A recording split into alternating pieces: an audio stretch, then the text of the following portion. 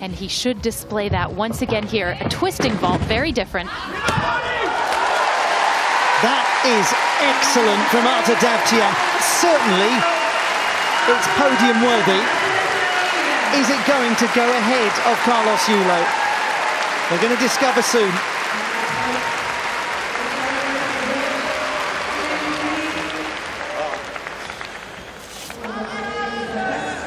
In the women's final yesterday, we talked about grace in vaulting, and this vault clearly falls into that category as well.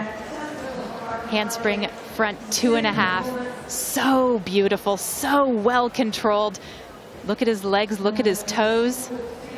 Apart from that small hop on the landing, again, it's just so elegant.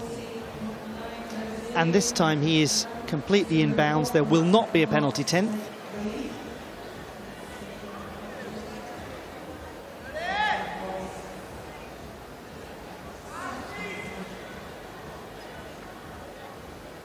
He wins titles in the air as well as on the landing. That's so important to stress. It's going to be very close.